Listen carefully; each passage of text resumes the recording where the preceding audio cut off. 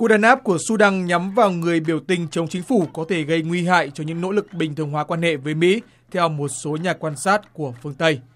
Kể từ khi các cuộc biểu tình nổ ra vào ngày 19 tháng 12, phản đối lạm phát cao và giá cả phi mã, các tổ chức nhân quyền và các hãng tin trong đó có đài VOA đã đưa tin về các vụ bắt giữ, giam giữ và giết người tùy tiện. Tuy nhiên, hãng tin Reuters cho biết Tổng thống Omar al-Bashir đã tỏ thái độ hòa dịu hơn đối với những người biểu tình trong thời gian gần đây,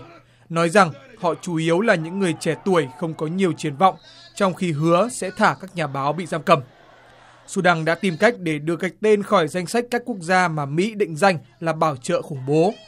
Nỗ lực bình thường hóa quan hệ giữa Sudan và Mỹ bắt đầu dưới thời chính quyền của Tổng thống Mỹ Barack Obama, chấm dứt hai thập niên trừng phạt kinh tế đối với quốc gia Đông Bắc Phi này.